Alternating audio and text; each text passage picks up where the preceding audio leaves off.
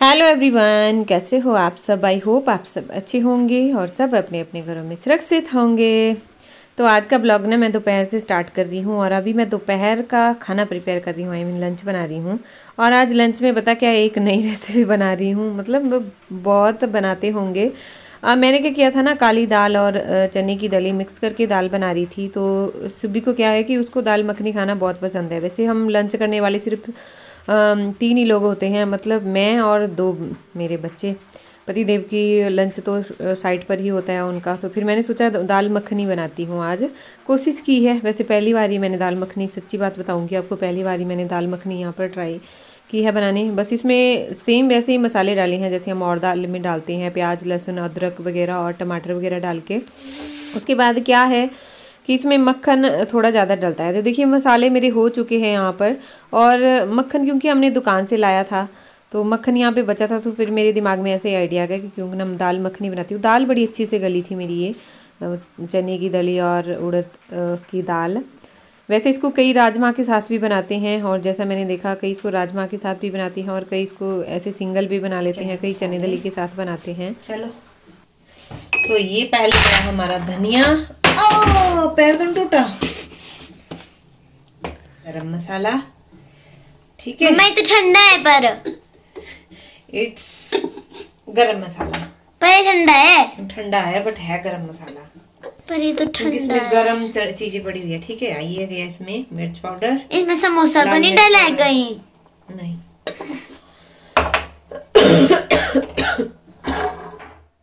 अब हम डालेंगे इसमें बहुत इम्पोर्टेंट चीज़ मक्खन। मक्खन। ठीक है? दो टिक्की। वैसे तो इसको पिघला के डालते हैं बट मैंने ऐसे ही डाल दिया और एक और चीज़ इसमें डालेंगे। एक और चीज़ हम इसमें डालेंगे, वो है ये फ्रेश क्रीम फ्रेश क्रीम तो ये मलाई मैं रोज़ स्टोर करती हूँ, जैसे दूध लाते हैं, दूध में से मलाई निकल जाती है तो इसको मैं इसे स्टोर कर लेती हूँ, फिर इसका मक्खन बना देती हूँ, और मक्खन ज़्यादा दिन टिकेगा नहीं तो फिर मैं इसका घी बना देती हूँ। तो बस इसके अंदर देखिए, मलाई मैंने डाल दी है और दाल मखनी हमारी तैयार है।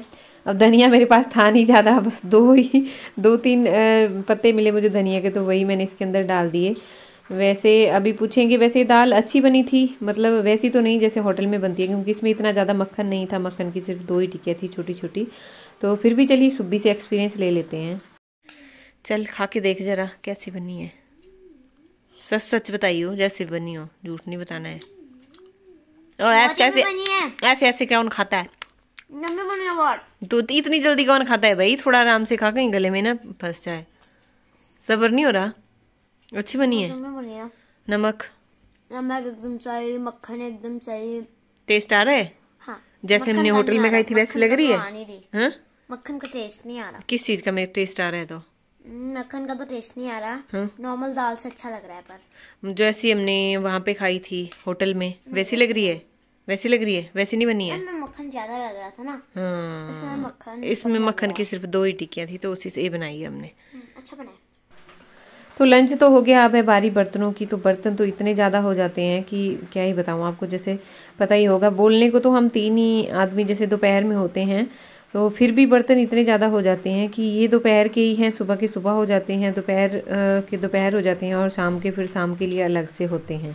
वगैरह तो मेरे धुल गए अभी उसके बाद है बारी देखिए मैंने अंदर से अभी वो पहनी है क्योंकि ना ठंड बहुत है और इससे सिंगल ये फ्लीज का अपना हाई नेक अंदर से पहन लिया और अभी मैं जाऊँगी कपड़े सुखाने क्योंकि मैंने कपड़े पहले से धो के रखे मैं क्या करती हूँ? देखो आपको दिखेंगे ये जैसे वॉशिंग मशीन में नहीं सुखाया होता वैसे ये वैसे ये सूखे हुए दिखेंगे। मतलब इतना पानी नहीं इनमें रहेगा। वो पता क्यों?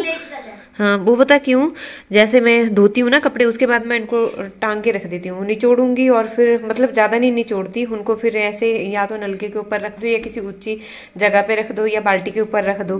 तो इस तरह से क्या होता है कि हमारे जो कपड़े हैं ना दस पंद्रह मिनट रखोगे तो पानी उनसे सारा निकल जाता है और फिर कपड़े बिल्कुल वॉशिंग मशीन की तरह सूखते हैं। चलिए अब इनको सुखाना।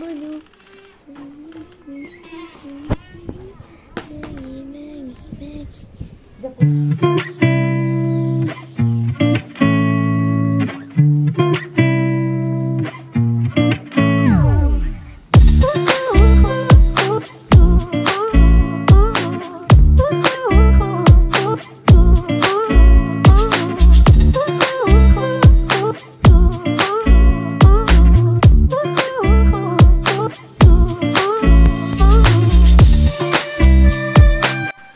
कपड़े सुखाने के बाद मैं आ गई हूँ अभी अंदर और अभी शिवा की वर्कशीट नहीं बनाई थी क्योंकि आज उसका एग्ज़ाम है।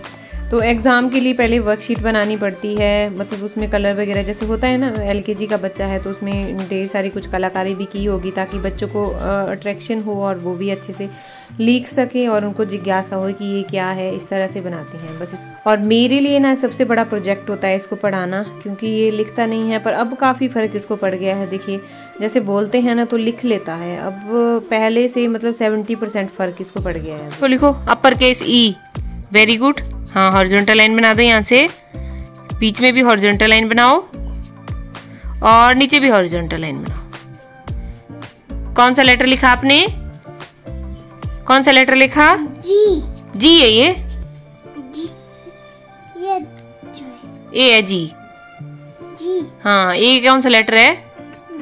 E E very good paper तो हो गया फाइनली इसने पूरा कर दिया अब गाने गा रहा है वहाँ पे बैठ के। और अभी सुबह की बारी है क्योंकि इसका पेपर शाम को है और मैंने इसे आज टेस्ट लेना है पहले। मैंने इसका टेस्ट नहीं लिया है। अभी अभी भी शाम हो ही गई समझो आप क्योंकि अभी साढ़े चार हो गए हैं। और मैं आज खेलने भी नहीं गई ना कहाँ मुझे कहाँ फुर्सत मिली आज इसका टेस्ट कराने के चक्कर में? बहुत टाइम चला जाता है। चलो अब जल्दी से ना जल्दी आ जा तेरी बारी आ गई। है ठीक है जल्दी करो। जल्दी करो। फिर से रिपीट कर दो भूल ही गई।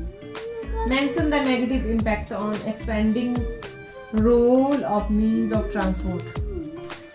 तो सुबी का भी रिवीजन हो रहा है और इसका रिवीजन करवाना भी ज़रूरी होता है। जब भी इसके एग्ज़ाम वगैरह होते हैं तो मुझे रिवीजन इसका मैं इसी तरह से कराती हूँ। और बाकी इसके बाद इसका पेपर भी लग जाएगा थोड़ी देर में। तो इसी के साथ मैं इस ब्लॉग को यहीं पर ही ख़त्म कर रही हूँ। आई होप आपने ब्लॉग इन्जॉय किया होगा। Thank you